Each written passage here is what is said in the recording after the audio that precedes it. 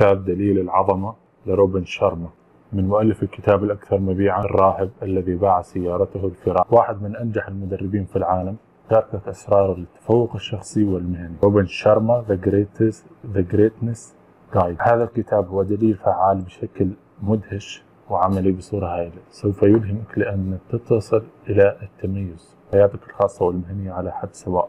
ومؤلف هذا الكتاب هو روبن شارما وهو واحد من أنجح المدربين في العالم ويعمل بأفكاره مشاهير رؤساء التنفيذيين وكبار رجال ونجوم الروك وأفراد العائلات المالكة بالإضافة إلى الكثير من شركات Fortune 500 ويقدم صيغة موثوقة ومثبتة للنجاح وتساعدك على أن تبلغ أقصى قدراتك وطاقاتك وتحيا حياة رائعة اكتشف في هذا الكتاب.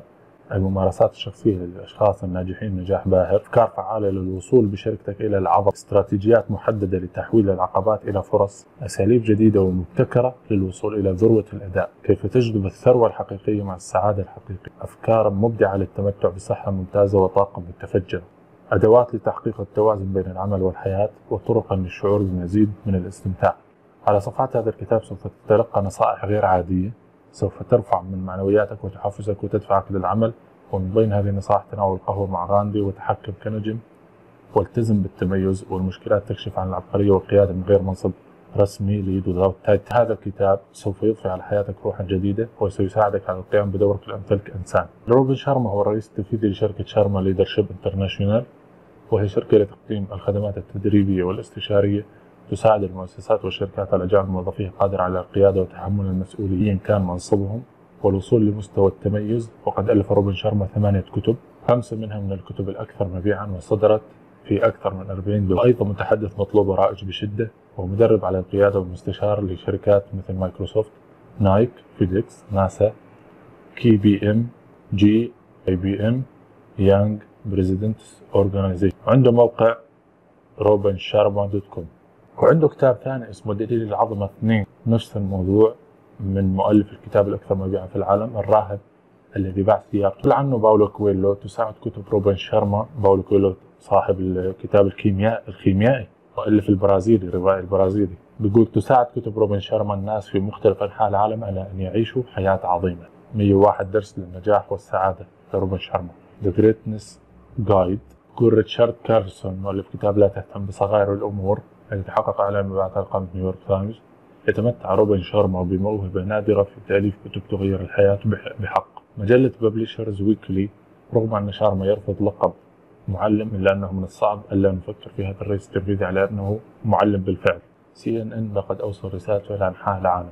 صحيفة ذا تايمز أوف إنديا إنه أحد أفضل خبراء القيادة والتنمية الشخصية في العالم.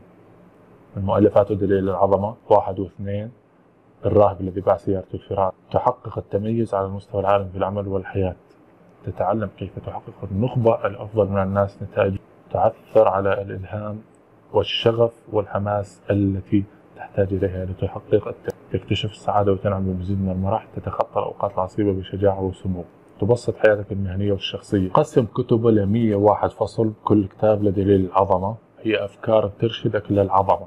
تنمية ذات أو تنمية بشرية. في كل يوم سوف تفتح لك الحياة نوافذ صغيرة من الفرص بيقول شارما والطريقة التي تستجيب بها لهذه الفرص هي التي ستحدد مصيرك في النهاية. كلما أصبحت أنت وشركتك أكثر نجاح كلما احتجت لأن تتعامل مع عملائك بقدر أكبر من التواضع وتظهر لهم قدرا أكبر من التفاني بينما تعيش أيامك تصيغ حياتك من السهل نسيان أن الناس يعملون مع من يحبون. أحد من الأشخاص فائقي النجاح من الذين تعاملت معهم كمدرب على القيادة قد بلغ هذه المكانة إلا لأنه كان يعمل أكثر من كل من حوله.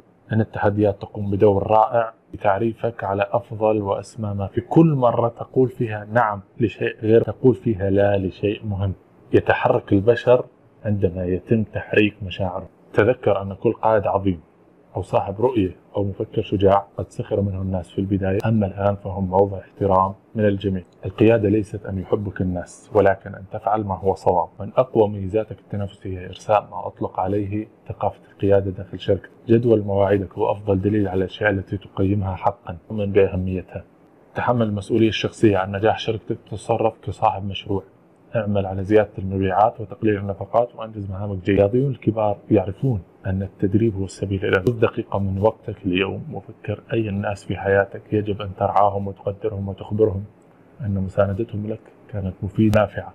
القيادة الحقيقية ليست مسألة مقام أو نفوذ أو منزل رفع ولكنها مسألة تحمل للمسؤولية. الكبار ليسوا أكثر من أطفال تدهور لا أحد يريد الفشل ولهذا يتجنب معظمنا حتى المح... الموتى وحدهم هم من لا يتعرضون للمشكلة. الكلمات التي تستخدمها تؤثر على حياتك فتخيرها بحكم. الحاجة إلى الانتباه هي أقوى واحدة من أعمق الحاجات الإنسانية. أفضل المؤسسات اللي تعاملت معها تهتم بصغائر الأمور. الاستمتاع يأتي من أشياء خارجية أما السعادة فتنبع من الداخل. انضم إذا إلى النادي الخامسة صباحا. انتصر في معركة الفراش. تغلب على رغبتك في النوم.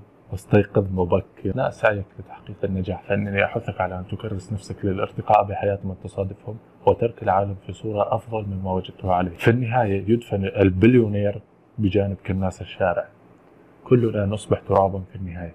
نحظى إذا بشيء من الاستمتاع. وضع الأهداف هو محاولة جريئة لبلوغ الحياة التي تتمناها وعمل بطولي لأنك تحاول الاستفادة من كل ما وهبه الله لك من قدرات تخلص من الأشياء التي يجب إزالتها من حياتك وستشعر بمزيد من البهجة والسعادة وسينعم عقلك براحة أكبر. مجال الأعمال بحاجة لمزيد من الجرأة والجسارة ولمزيد من الأشخاص الذين لديهم استعداد للمخاطرة والمجازفة. أن تحيا في قلوب وعقول الأجيال التي ستليك يعني أن تخدع لا يفوت الأوان أبدا لكي تكون الشخص الذي طالما حلمت أن تكون. أعدك بأنني سأواصل الكتابة والتحدث إذا وصلت أنت القراءة. روبن قيادة الشركة تبدأ بقيادتك لذاتك ولا يمكن أن تكون عظيما في العمل إلا عندما تشعر بالعظمة الشخصية. حياة تختبر أصحاب الأحلام الكبيرة والأرواح الثورية. الحياة أقصر من أن تجعلها تعيسة. كتاب روبن شرما دليل العظمة. واحد واثنين.